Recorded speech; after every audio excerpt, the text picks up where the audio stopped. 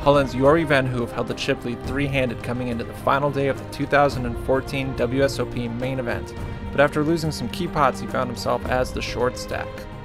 In the end he ran ace-5 into ace-10 of Martin Jacobson and was eliminated in third place, earning $3,807,753. Card Player TV caught his post-elimination press conference to learn more about his experience as one of the 2014 November 9. Right now, this moment, Okay. what, what do you feel like? Uh, better than I thought, actually.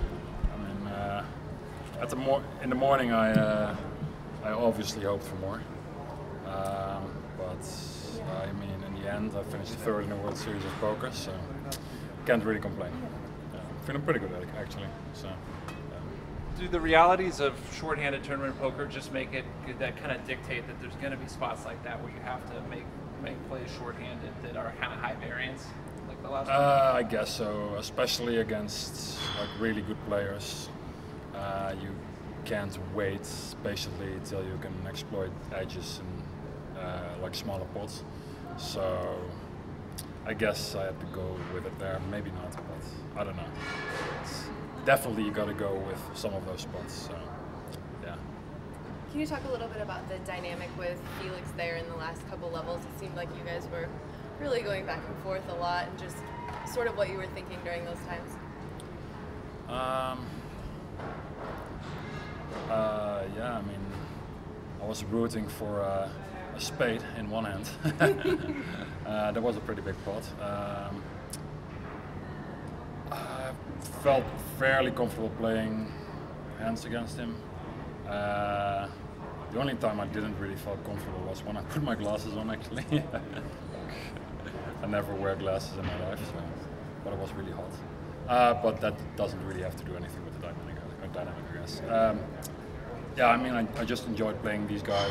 Both Felix and Martin are super good players from London, uh, as I am, and uh, we're gonna meet up, and the winner is going to pay uh, for my dinner. So, why did you switch to the glasses? sorry. Why did you switch to Uh, the because glasses? like the lights felt much stronger today, so they were bothering me a little bit in my eyes actually. the, So I, the lighting was different. uh, it's how I perceived it. I, I was in a fifth uh, seat now, as opposed to the other day. So I don't know. I thought I'd put on the glasses. Maybe that helped. And I, don't know, I guess uh, I'm not gonna do that anymore. But I d- d- it's not like it affected my play too much. I would say over the last few months, you seem to be one of the players that really became really media friendly, I guess, and easy to talk to. And you played a lot of tournaments. Can we expect now to hopefully see you on more live tournament circuits? Oh, I appreciate that. Um, most likely, yeah. I mean, I'm already looking forward to uh, Master Classics of Poker. That's in Amsterdam.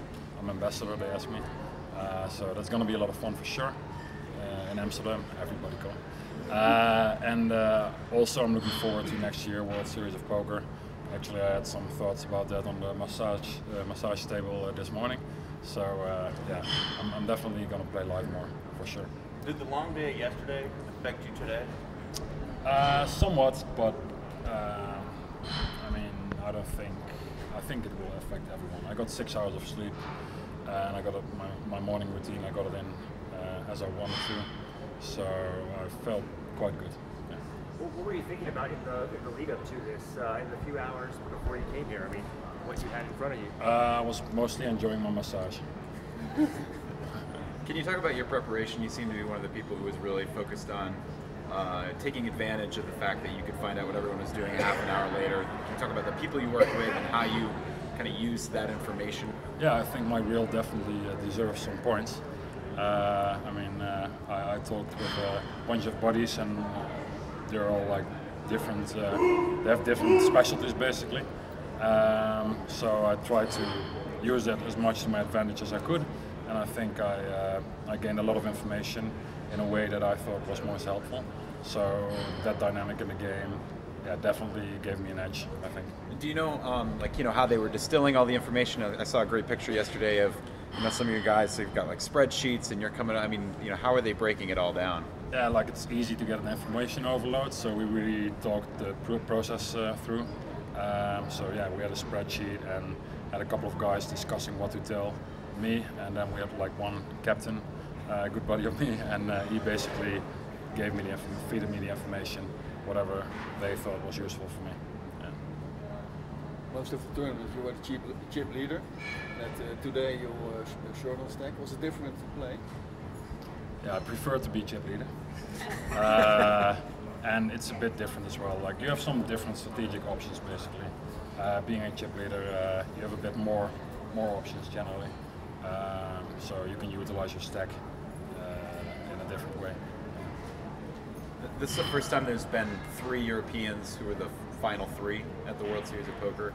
Um, can you talk about kind of the evolution of poker in Europe and, and where it stands now, and what do you think this you know type of result means? Uh, yeah, I, to be honest, I really, I have no idea. I mean, maybe we have, uh, like the Europeans have a small advantage because of uh, online poker is still like widely available. Um, that's the only thing that I can come up with now. Uh, so I guess that makes us able to practice more. So I, I hope you guys, uh, like America, gets poker back soon, so you get to practice more as well, basically. You make uh, poker history for the Netherlands. Does it count right now? Obviously. yeah, that's pretty cool. And speaking of Dutch people, they don't know how to party at all. From what I hear, there's no partying in Holland. So, what are you guys gonna do here in Vegas? Oh, I mean, uh, I'm not flying home tomorrow, so uh, I'll definitely stay for a few more uh, days. Uh, it's my birthday, uh, the 15th, so celebrate my birthday here as well. Um, yeah, I mean, I haven't planned the party yet because I was hoping for uh, the suite, uh, but uh, I'm sure I'll uh, I'll get something uh, fixed. It's still available. It's 10,000 a night. okay, I'll consider it an option.